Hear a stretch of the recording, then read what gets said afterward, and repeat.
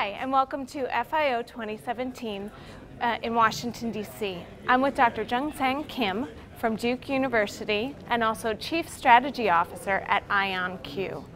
Dr. Kim, your visionary presentation today talked about trapped ions. Can you tell us a little bit more about what you spoke? Yes, uh, this, we're approaching a very exciting time in development of quantum computers. This has mostly been in academic research for the last 20 years or so, but I think people are starting to build up enough confidence that maybe a commercially usable system uh, can actually be constructed.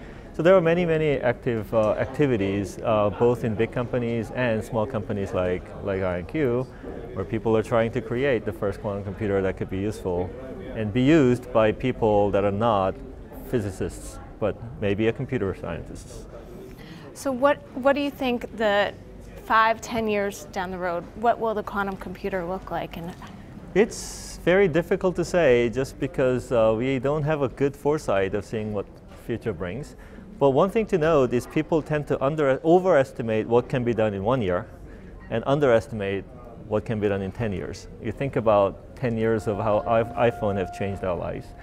Um, so um, it probably over the next four or five years will be improving the baseline technologies and make sure that we have uh, usable computers and maybe reach out to some early adopters who might be thinking about how to use this for useful uh, applications.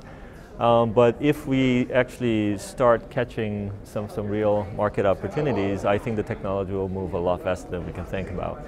So maybe um, it will certainly have a potential impact in um, materials and, and chemical research, biological research, maybe some optimization problems, um, and hopefully uh, more applications that we don't think about today will come about.